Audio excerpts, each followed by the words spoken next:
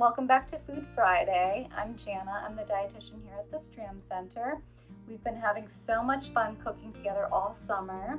And as the summer is winding down, we're going to have a couple more videos on Fridays and then we're gonna just slightly taper back the videos to once a month.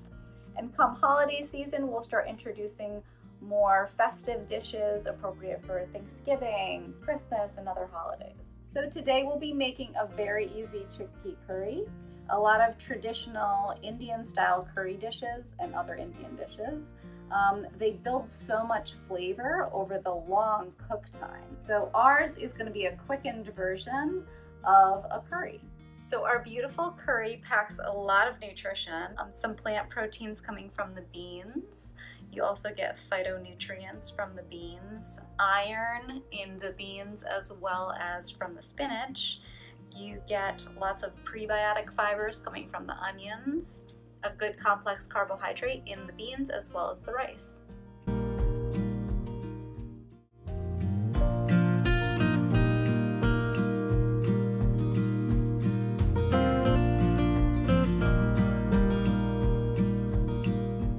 This recipe uses one yellow onion, chopped, one or two cloves of garlic, however much you like,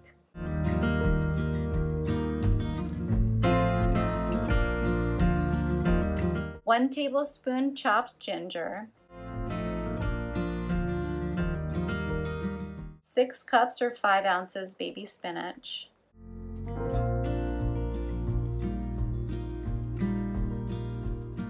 one large can crushed fire roasted tomatoes or two smaller cans,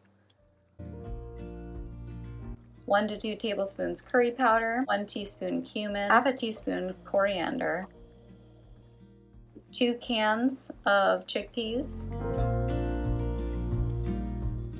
half a cup of coconut milk,